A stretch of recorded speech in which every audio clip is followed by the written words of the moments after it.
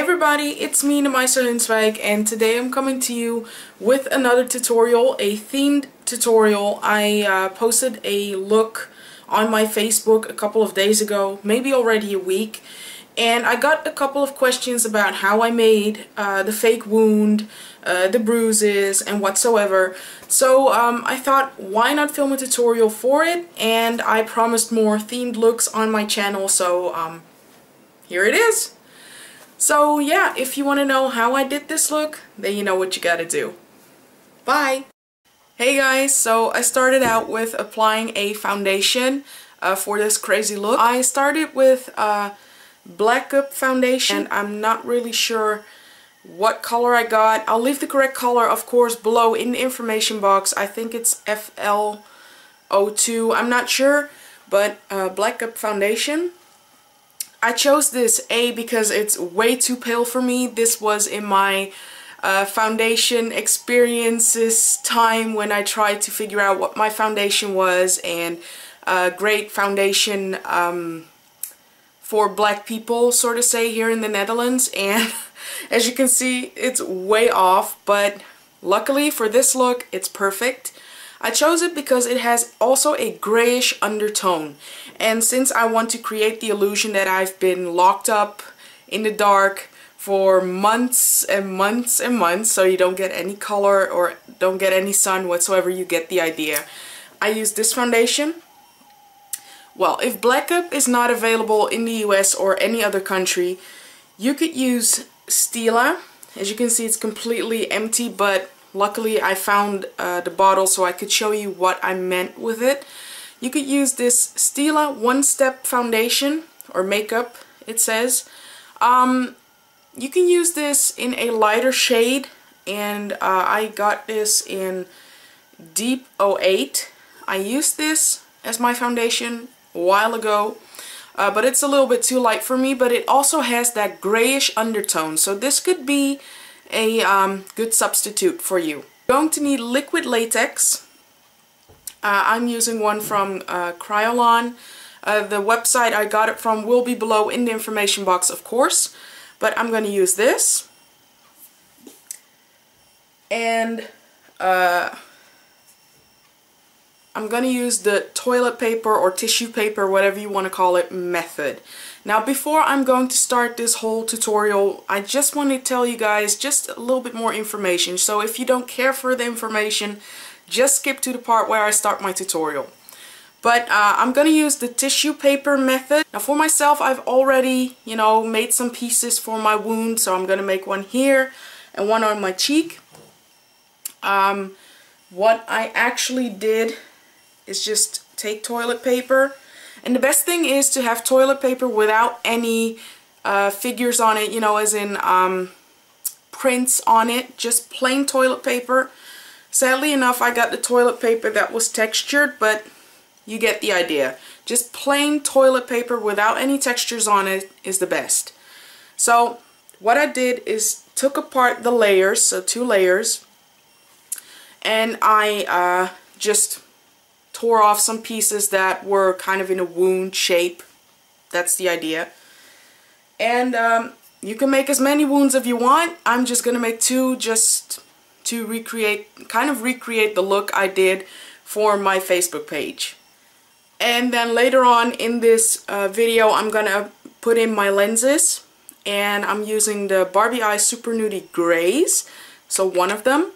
And then I'm going to use uh, the Kimchi or iFairy, no wait, iFairy, I'll leave the correct name below in the information box, but iFairy lenses in red and in one eye. So just mixing these together. Um, also, when you're going to apply liquid latex, use brushes that you don't really care for. So synthetic brushes you can buy at a craft store because liquid latex ruins your brushes. Okay, finally we're going to start with this tutorial. Uh, so what I already did was apply that foundation to my entire face. Uh, I didn't draw on my eyebrows because this is going to be my insane look and I thought that my crazy eyebrows would even add more to the look.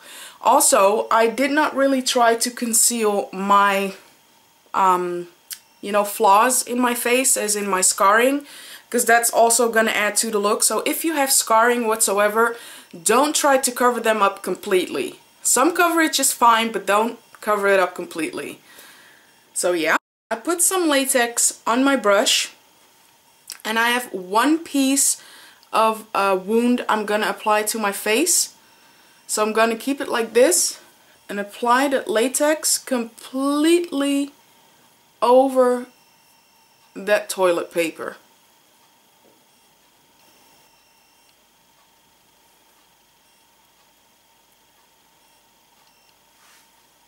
Okay, so that's one layer. Now I'm taking a second piece and I'm applying that over it.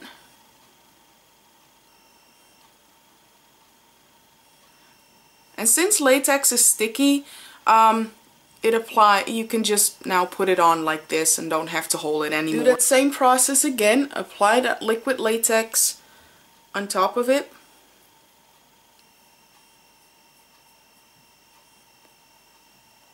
And what I'm going to do now is apply one more sheet. Just, I'm going to repeat the same thing one more time. So here's my sheet.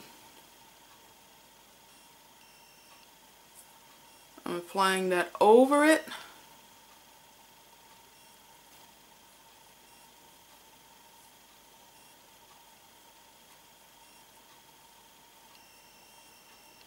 So now I applied those layers, uh, so three layers on my skin, on my face. And what I'm doing now is letting it dry just a little bit, uh, just so I won't tear up all the uh, toilet paper from that wound because, you know, I want it torn up, but not too much that there's nothing left. So I'm just going to wait and let it dry a little bit. And actually, while that is drying on my face a little bit more, I'm going to take a clear brow gel from MAC and uh, this is called Clear. and what I'm doing is actually running that through my brows because you know my brows the hairs are laid flat and even though they are short and weird um, they are not weird enough for me. They need to be a little bit more frizzled up. so I'm just running that through my brow hairs combing them up and against the grain of the hair, if I had to say it like that. As you can see, it's a little bit more frizzled.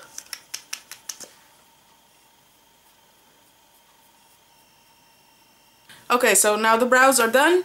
I'm actually to tear a hole in this weird-ass toilet paper.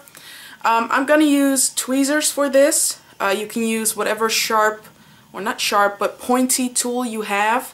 Um, of course, make sure you're not gonna jab it in your cheek or whatever because then you'll bleed for real and you can take this off. So be careful and just uh, tear open that uh, piece of toilet paper you covered in latex and make a wound, a shape. It's not that difficult to tear it open. And I'm rolling open, like rolling those sides of the wound um, outwards because, I don't know, that kind of gives more as if the flesh is like rolled back and whatsoever. Okay, so now we have that open spot. Now obviously what you're going to do is apply some uh, foundation over it so you can use the foundation you used for your face, you know, that pale foundation, or you can use a shade darker since this is a white base. You have to treat this as a white base, just like your eyeshadow. So you can go a, you know, shade darker, whatever. But I'm going to use that same foundation just to save time and because, you know, I'm covered the, I'm going to cover this up with um, bruises and whatsoever, so it won't be that noticeable.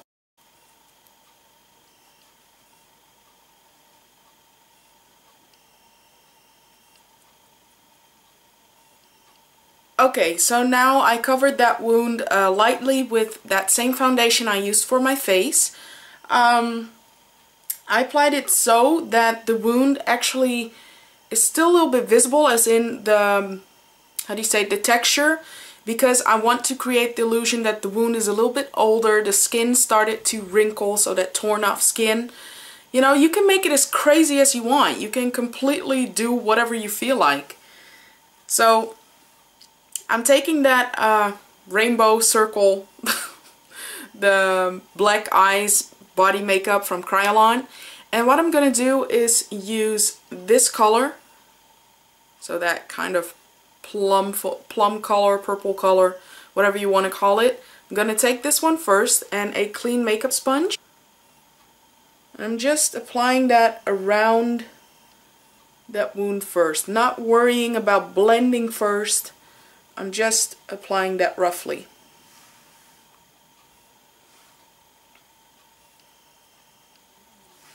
Don't know if you can see it properly, but I applied some of that uh, dark purple around the bruise already.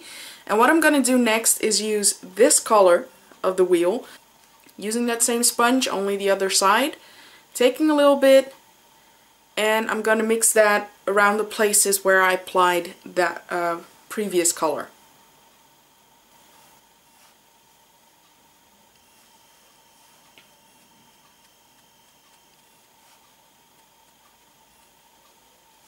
Once you have that going a little bit, uh, I'm gonna start with that uh, Fresh Scratch um, Blood Effect from Kryolan. And again, a brush I really don't use or care for too much because this will ruin your brushes as well. So mainly I'm just pushing my brush into that gooey mixture and I'm gonna apply it in the wound. So everywhere.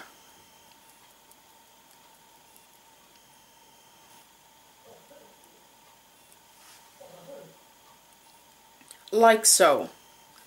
Okay, so now I've done that. Obviously, I told you guys I'm gonna do uh, gonna do another wound over here. Um, I'm gonna do that later since I've explained step by step how I did this wound now. Basically, it's the same idea, only on a different place and it's a little bit smaller. So you can do that for yourself. Now you know how to do this. So what I'm to do now is go back in with that same black eye palette, effect palette, whatever from uh, Kryolan. Can you tell I have not used this as much since I do not know the names on the top of my head. But I'm going to go back in with that uh, palette and with that same sponge I used before. And what I'm going to do now apply this color underneath my eye. I'm blending it down. I'm blending it down and I'm applying it. I'm, I'm just doing this as I would do my eyeshadow. I'm going in my crease with that sponge and feather it out.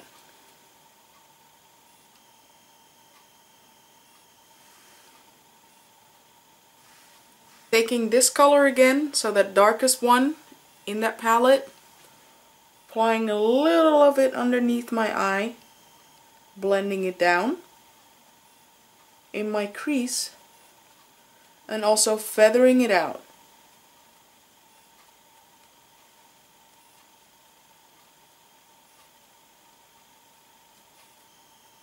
So from the tip over here, feathering it out. Then I'm taking that same color again, so this one, and I'm gonna apply it over here. Flying it, pushing it down. And stippling. That's all I'm doing.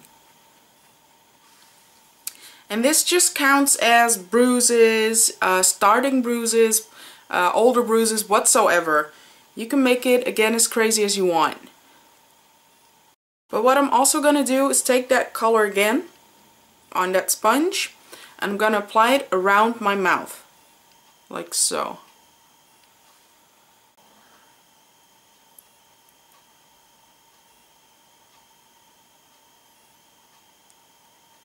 Now again taking that darker color also applying it a little bit over that kind of purplish color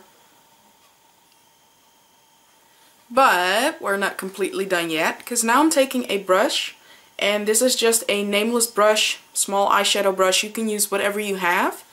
Taking that this color again on that brush and I'm gonna apply it on my mouth. Work and brushing that color up. And I'm doing the same on the lower part.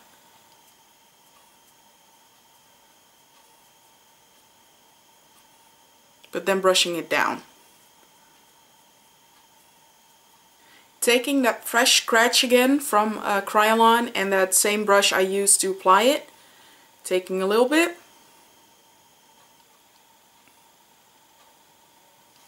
And I'm applying that in the corner of my mouth. Not in my mouth, but just on that corner.